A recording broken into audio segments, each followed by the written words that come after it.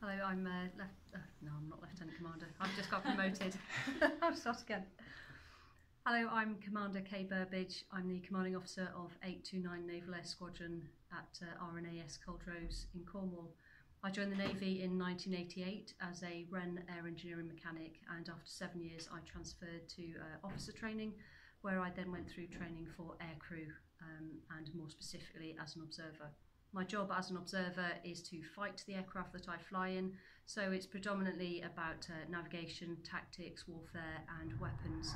Uh, my job really is anti submarine warfare, so um, looking for submarines that may be in and around our territorial waters or indeed uh, in the deeper oceans.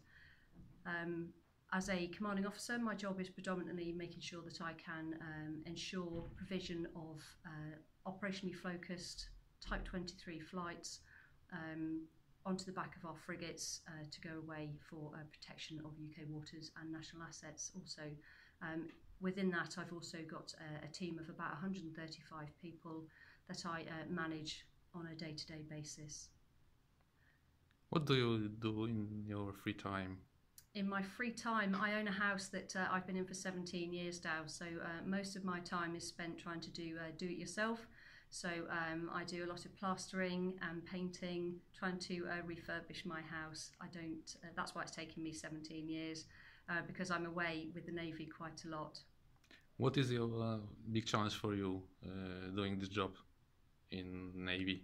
My biggest challenge, um, I think, is my current job, um, but it's more the personnel that I work with. And we are incredibly busy. Um, we are at high readiness for um, quite a majority of our time so it's managing how we um, look after our people, how we manage their careers.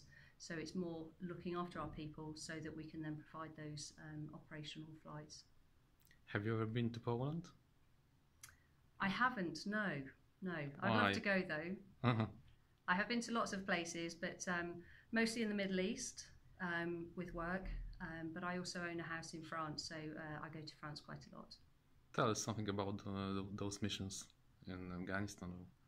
In, in the Middle East. Middle East. Um, they're mostly on security operations, so uh, maritime security. So we're we're in support of the um, combined task forces that work out there. A lot of our uh, NATO and allied uh, counterparts.